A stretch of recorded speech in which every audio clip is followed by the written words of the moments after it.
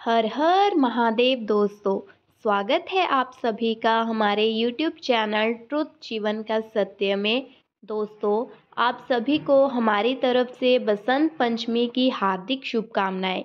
क्या आप जानते हैं बसंत पंचमी को मनाने की शुरुआत कैसे हुई थी? अगर नहीं जानते हैं तो इसे जानने के लिए हमारी वीडियो को अंत तक ज़रूर देखें। वीडियो अच्छी लगे तो चैनल को सब्सक्राइब कीजिए, वीडियो को लाइक और शेयर कीजिए और कमेंट बॉक्स में हर हर महादेव लिखना ना भूलें। तो आइए वीडियो शुरू करते हैं।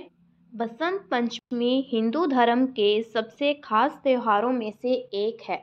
इस दिन विद्या की देवी माता सरस्वती जी की पूजा की जाती है। ये त्यौहार माघ महीने के शुक्ल पक्ष की पंचमी तिथि को मनाया जाता है। हिंदू परंपराओं के अनुसार पूरे वर्ष को छः ऋतुओं में बांटा गया है, जिसमें बसंत को सभी ऋतुओं का राजा कहा जाता है। जिस दिन से बसंत ऋतु की शुरुआत होती है, उस दिन को बसंत पंचमी के पर्व के रूप में मनाया जाता है।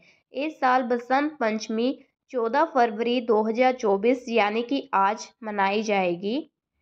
धार्मिक मान्यताओं के अनुसार इसी दिन माता सरस्वती प्रकट हुई थी, इसलिए इस दिन बसंत पंचमी के दिन सरस्वती माता की विशेष पूजा का आयोजन किया जाता है। माँ सरस्वती को विद्या एवं बुद्धि की देवी माना जाता है। तो अब जानते हैं कैसे हुई थी बसंत पंचमी को मनाने की शुरुआत।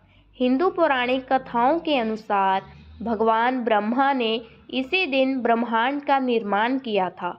सृष्टि की रचना करके जब उन्होंने संसार में देखा तो उन्हें चारों ओर सुनसान दिखाई दिया। वातावरण बिल्कुल शांत लगा। तब ब्रह्मा जी ने भगवान विष्णु जी की अनुमति लेकर अपने कमंडल से पृथ्वी पर जल छिड़का। जल छिड़कने के बाद देवी के हाथ में बीणा लिए प्रकट हुई माँ सरस्वती। बसंत पंचमी के त्यौहार को हर राज्य में अलग अलग तरीके से मनाया जाता है। इस दिन लोग पीले वस्त्र धारण कर माँ सरस्वती की विधि पूर्वक पूजा करते हैं। मान्यता अनुसार पीला रंग सुख समृद्धि और ऊर्जा का प्रतीक माना जाता है। पीले रंग को माँ सरस्वती का प्रिय रंग भी कहा जाता है। पीले फूलों को माँ पर अर्पित किया जाता है। और पीले रंग के चावल का माता को भोग लगाया जाता है।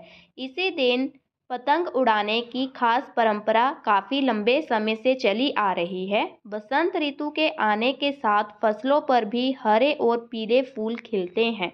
इसकी खुशी लोग पतंग उड़ाकर ज़ाहिर करते हैं।